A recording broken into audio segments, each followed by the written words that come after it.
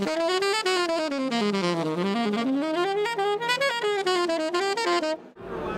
this is Chelsea. I'm over at the NAMM show at the Anaheim Convention Center, and I am so honored to be standing next to musician Eddie Daniels today over at the RS Berkeley booth. And Eddie, you play the saxophone, so what do you enjoy about playing RS Berkeley's sax? I love the sound, I love the, the intonation, you know, because I can play high.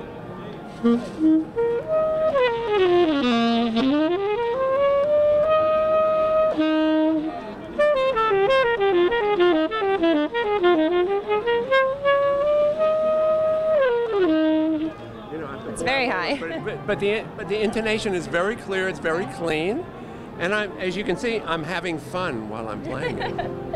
yeah, that's jazz, like you just said, right? right. Yeah. right. Yeah.